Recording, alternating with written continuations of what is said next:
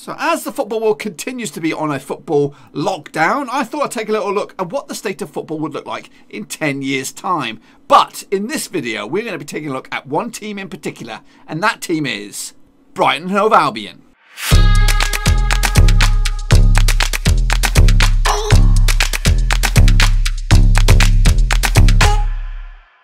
Okay folks, back once again with another video. This time we're going to take a look at Brighton and Hove Albion. Where are they going to be in 10 years time? That's the impending question that I'm going to leave to you in just a second. But before then, be sure to give this video some love and smash the thumbs up. And of course, smash the subscribe uh, for all things uh, Blackburn Rovers related, Premier League related, Football Manager related. We've got it all here under one roof. Ah, let's go punch in Brighton then. Uh, this is before the old time warp. Uh, we're going to take a little look, just refresh our memories, just in case you don't know too much about Brighton. So here they are, of course, managed by the uh, Swedish export, not really Swedish, he's English. Uh, Graham Potter, that's right, formerly of uh, Swansea, uh, now uh, the governor pulling the strings um, at um, at uh, Brighton. He's doing what I'm doing in my own football manager save, just putting it out there, just putting this out there. I'm doing the Graham Potter Avenue, the Graham Potter save. Yeah, it's a journeyman. Uh, when I started my life out in Sweden, Finland, Sweden, uh, uh now over in the Dutchlands of FC20, or maybe not, depending on when this goes out, I might have moved on. I don't know. I don't know. Uh, but anyway, so Graham Potter is the man.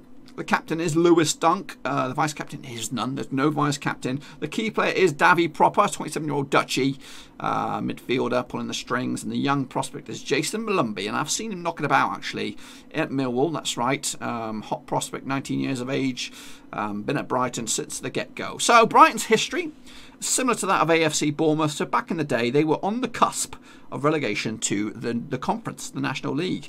Um, but some steady seasons saw them eventually get promoted uh, in, 20, in, two, in 2000 2001 season to League One. They actually had back to back promotions, uh, but then it was followed by quickly by relegation from the Championship back down to League One.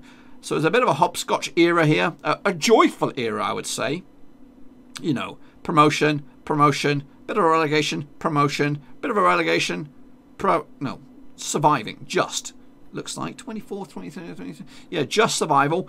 Then they got relegated. Then they went down a little bit to it looked like a bit of a free fall here and then a bit of a steady eddy eventually on the rise once again and here they are in the premier league uh, ever since they made it uh, as, as, as runners-up back in 2016, 2017. They've been here. They've been there forever. But will they be there in 10 years' time? That's the question we're going to get to shortly. Quick look at the players that we're going to be looking out for in the future. Aaron Mooy, like him a lot. One of my favourites. Um, just strangely. Lewis Dunk, 27 years of age. A lot of these boys, we're not going to see them because they're around, around, around that age that that they may not be in the game anymore. We may be able to track their histories a little bit. Alex McAllister, he is a hot prospect, 20 year old uh, from Argentina, um, picked up from Brighton. Uh, he went back out on loan though. Uh, for them, so he could be one to look out for. Alexis McAllister, Neal Maupay as well. I think we've seen um, him a little bit if you've been keeping up with the series. Uh, he has made an appearance elsewhere. Has as Adam Webster, Solly March as well. We don't know about him. Uh, Jahanbakhsh as well. He's what 25, so he'll still be in the game. Dan Burn as well. Has he got an England cap? No, no, he hasn't. Shane Duffy, he may or may not be in the game as well. So Glenn Murray will probably not be in the game. Just saying. Jason Steele, how dare you? Uh, anyway, this is the boys right here. Take a mental picture because we're going to go into the future now. Whee! Let's go. Okay, boys, here we go. Into the future. 31st of May, 2029. That's right. Where are Brighton? That's the question I want to know. What about you guys? You want to know? Well, let's punch it in. Uh, my money's on Championship, unfortunately. And they are. But it's a blessing in disguise. It looks like they're going to be right back into the thick things uh, as they finished runners-up this time around. So let's say uh, we finished here. They ended up being 20th, relegated got themselves promoted at the first attempt. Back in the Premier League, steady Eddie for a little bit, get themselves relegated and have a little bit of a wobbly season this time around. Uh, maybe making playoffs though, and get themselves done and dusted this time. So the man pulling the strings these days is Diego Martinez. Uh, what's his backstory then? Milestones, formerly manager of Granada, now manager of Brighton Hove Albion. Uh, the key man uh, is, well, the captain is Joe Rodon, formerly of Swansea, I believe back in the day, picked up by Crystal Palace, then Aston Villa, and then Brighton gobbled them up for £12.5 million when they were in the Premier League. Been a steady sort of hands the back. Jason Molumby, look at this, staying right where it's at. Yep, testimonial on its way, I'm pretty sure. Maybe even a second testimonial in the works. Um, not too shabby. Key players, this guy is a regen.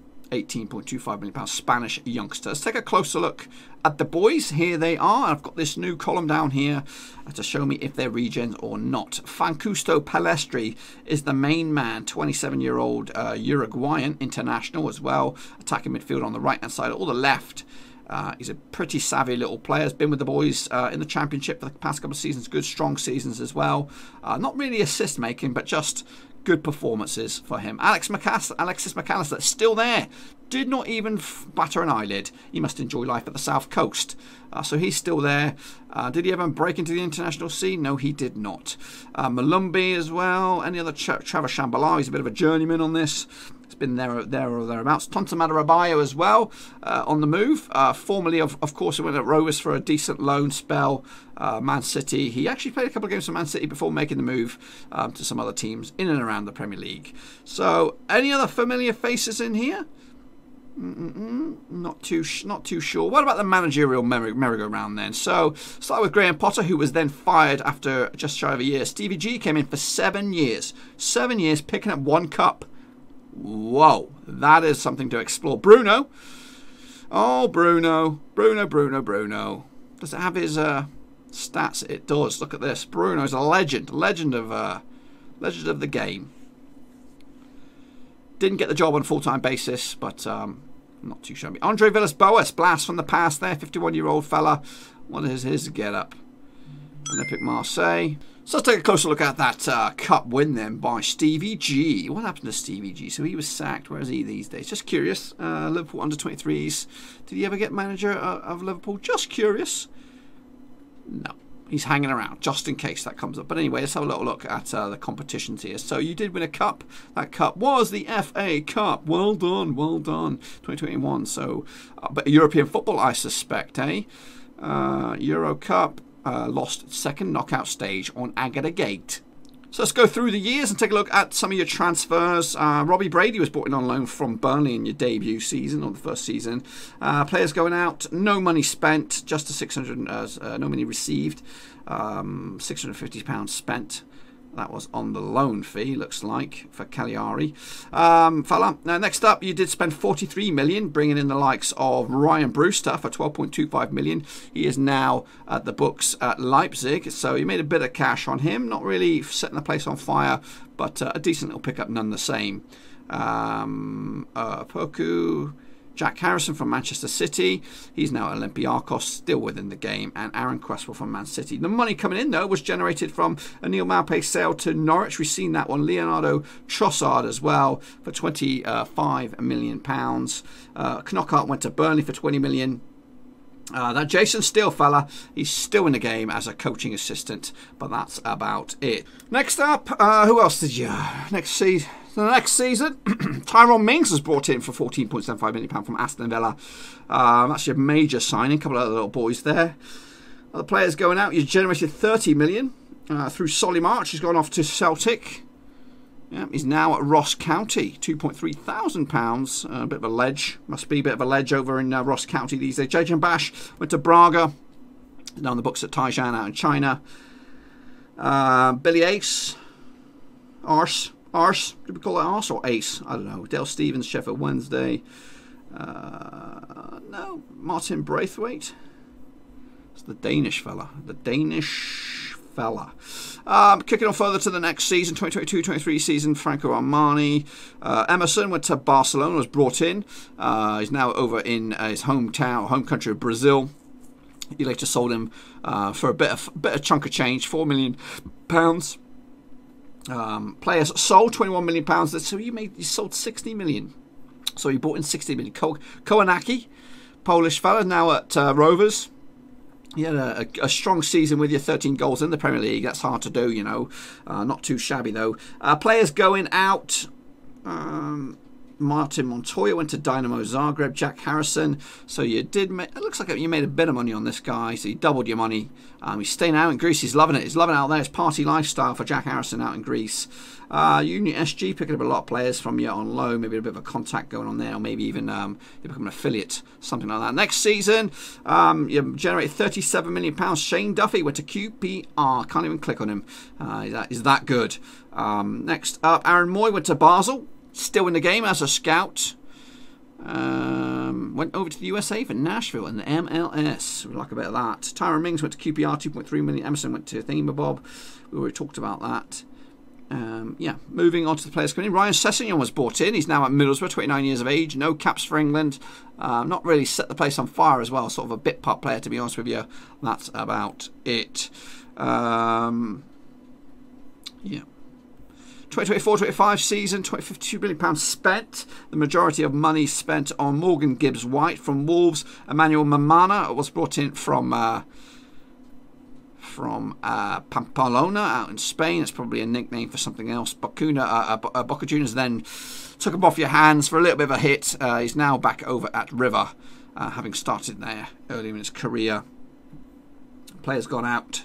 18.5 million pounds. Most of it's uh, gone on this guy, Nicholas Opoku, who you guys brought in from Nicosia back in the day for looks like 5.25 million pounds.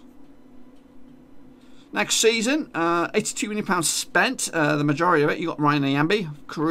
Kudos to you, big fellas. Tonta Abayo, £21 million spent. You bought in this guy, Roland uh, Adrajazo, or whatever, Uruguayan international. Um, he's then been resold to Galatasaray for a little bit of a hit. Um, he was formerly of Leeds, is that right? Yes, it was formerly of Leeds. Um, Rodak, the goalkeeper, as well, was brought in. He's now going over to Qatar. Player sold. You sold uh, 72 million, 75 million pounds worth of talent. Ryan Brewster to Leipzig. Uh, Sessegnon to Fulham. Back, gone back home for him. Anthony Robinson. He did not get his move to AC Milan.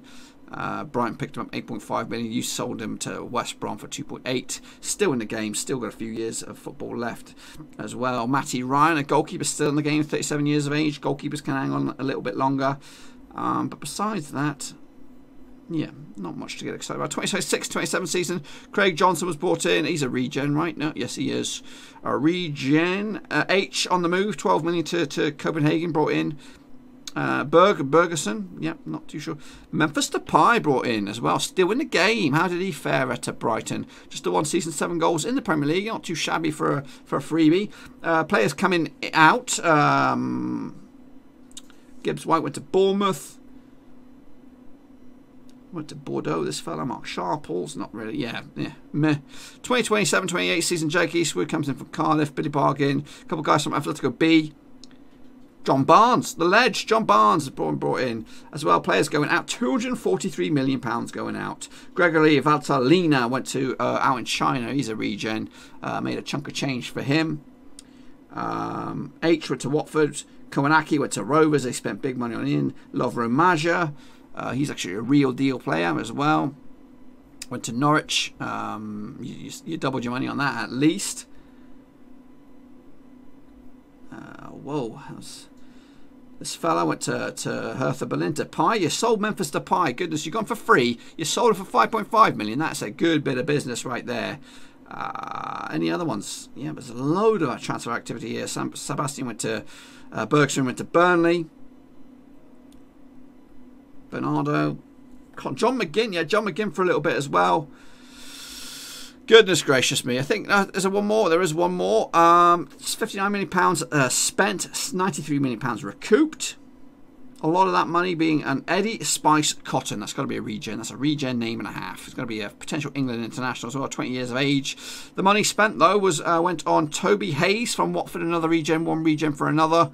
Uh, and also uh, Paulo Jorge, Brazilian uh, defender as well. So yeah, Josh John Barnes went to, to Leyton Orient, just just in case you're checking on Johnny Barnes. Let's take a look at the best 11. This is the best 11 from the get-go. Uh, Ryan between six, Benedicto left back, Rodon, Adarabioyo and Bernardo at right back, McAllister, Molumby alongside Komanaki, Gross, Pellistri and Connolly leading the line. Connolly, is he still in the books? No, he's not. He's at Schalke these days. Sold for a good £7.75 million to Bournemouth, who then sold him on to Schalke. Um, so that's the best 11. What about the boys from the get-go? Let's go all the way back. Uh, so it started all very well for Neal Maupay, 14 goals in his debut campaign, full campaign as well. Second season, uh, it was a bit of a change of scenery. Uh, up top was Florian Andone with 15 goals, 10 goals for Harrison and McAllister. This could have been a championship season. It was 16 goals for Pascal Gross.